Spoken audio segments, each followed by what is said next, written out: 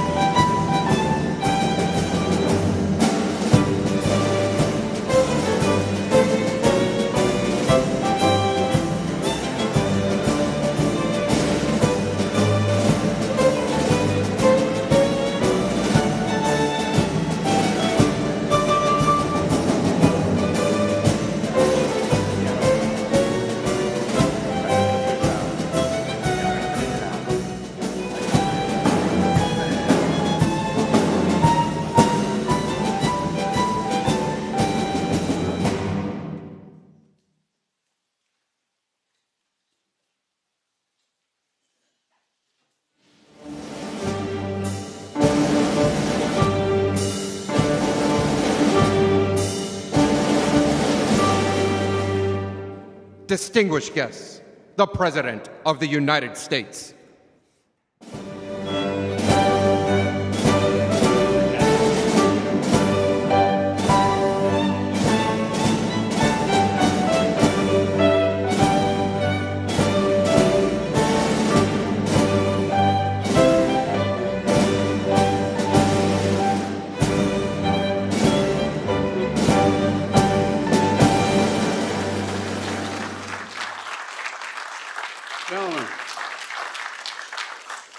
Please have a seat. Thank you.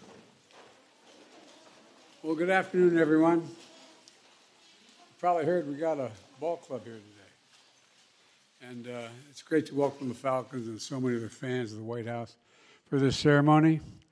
It includes our second gentleman, Doug, and the chairman of the Joint Chiefs of Staff, General Mark Milley. He played hockey. And you wouldn't want to screw around with him if you had your uniform on, I don't think. But uh, I'd also like to, I'd also like to welcome the Chief of Staff of the Air Force, General Charles Brown. Charles, stand up so everybody can see you. This is your team. All right.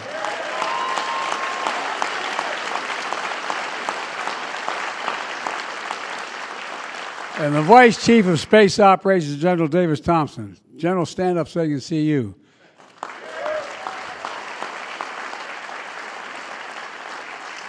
Representative Don Davis is here, a proud graduate of the Academy. Congratulations, old buddy.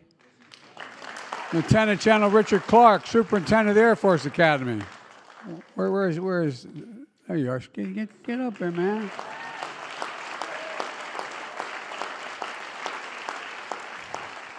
When I met the team, I thought he was a middle linebacker. Uh, looking good, General. You know, I, I, played a little football growing up in high school. It wasn't bad. In college, I was bad. Um, but uh, I learned so much about teamwork and respect for my coaches, and, and uh, just like you fellas did. And uh, Coach Calhoun, it's an honor to have you here. It really is an honor to have you here. And uh, in fact, uh, you've been here for this trophy so often, I think you're going to start calling it the Blue Room, Long Blue Line Room Trophy. I.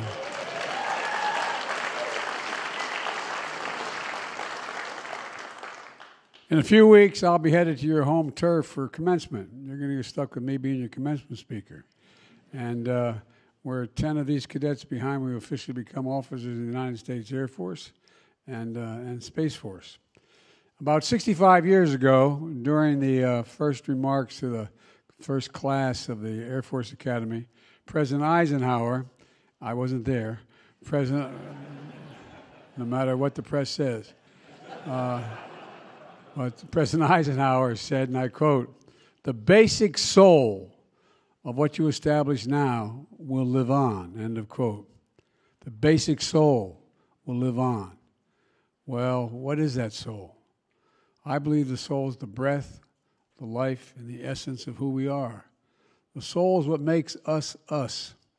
Simply put, you can't talk about the soul of the nation without talking about our service academies, and I believe that.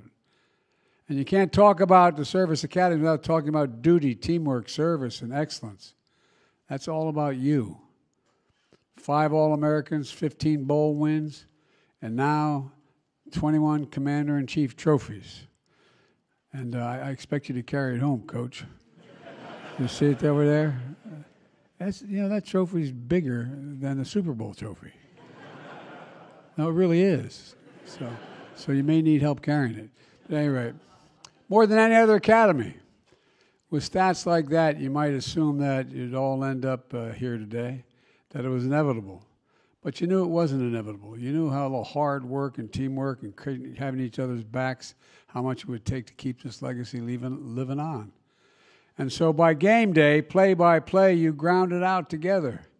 You beat Navy, you beat Army, you beat Colorado for good measure. Just letting whose, whose state it really was. And after looking at the scoreboard, they must have been thinking you took your service motto aim high, always above, pretty seriously. And at home on the road, you also broke record after record.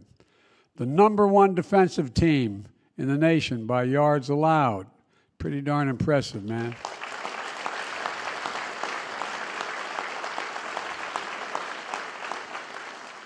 And the number one rushing offense in the nation averaged over 300 yards a game.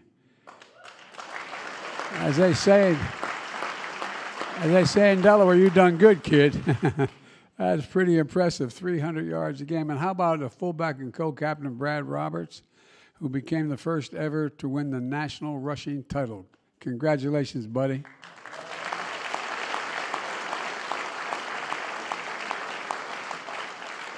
A quarterback and co-captain, Zeke Daniels, who set two school records, one for the longest run from the line of scrimmage, 94 yards, as a quarterback, he must have been really chasing you, man. and the second, the longest completed pass, 92 yards. That ain't bad. I, I, I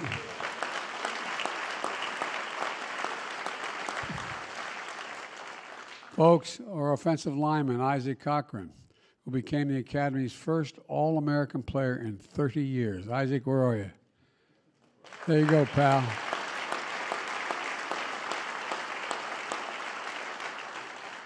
And Isaac, if I say anything you don't like, let me know ahead of time, will you? Congratulations, buddy. That's incredible. And on top of all this, you defeated the Baylor Bears in the Armed Forces Bowl, the coldest bowl game ever, just 11 degrees. I don't know how y'all set that up, but you did it well. or as you call it in Colorado Springs, a balmy spring day. You had all those wins while drilling, training, and serving day in and day out at the academy as cadets. After every game, you hung up your uniform and you immediately put on another one representing your nation, the United States of America. Simply put, you've not only carried on the Academy's football traditions, you've stepped up to join a long line of American service members, each a link in a chain of honor, each one. And you know that when it comes, when you, when you do become officers, that it's the team that matters most. You continue to have each other's backs. An Air Force team, a Space Force team. Together you represent the very best of who we are as Americans, and that's not hyperbole. Your school motto, if I take a little liberty with it, you, you put integrity first, service before self, and excellence in all you do, in all you do. That's not only your school motto, it's who you are. It's who you are. Proud not only to have achieved, but all that you can do if you continue to work together. That's who you are. That is why you're the soul. Like President Eisenhower said all those years ago, that soul will now live on another generation thanks to you and all our brave service members and their families. So, as your Commander in Chief, it's my honor to award you the Commander in Chief's Trophy. As I said, Coach, why don't you show people how you can pick it up, hold over your head for a while? and I said, it's bigger than a Super Bowl trophy. It's pretty incredible, isn't it? I know it's not the first time you've seen it. So, congratulations. And one more thing let's fly. Let's fly.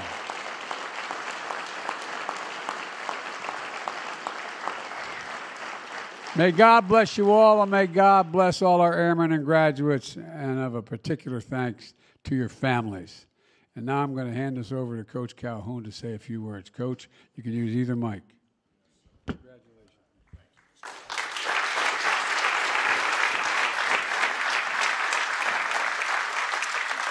Mr. President, uh, how grateful we are.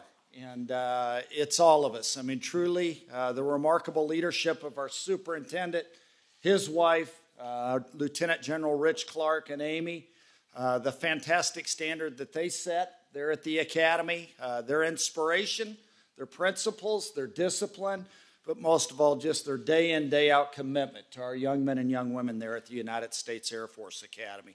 On behalf of our athletic director, Mr. Nathan Pine, and, uh, and the entire United States Air Force Academy, how fortunate we are to have great, great support, uh, not only in here with, uh, within the confines of Washington, D.C., but throughout our nation. And uh, unequivocally, we already have 10 that have graduated uh, that are out doing splendid things in both our air and our space force.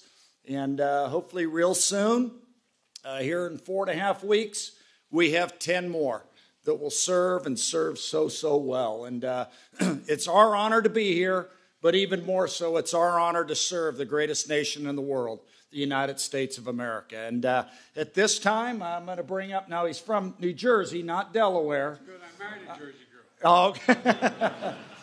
Our two captains, Haaziq Daniels, quarterback, and, uh, and running back Brad Roberts. And, uh, sir, they have a couple of small items here for you.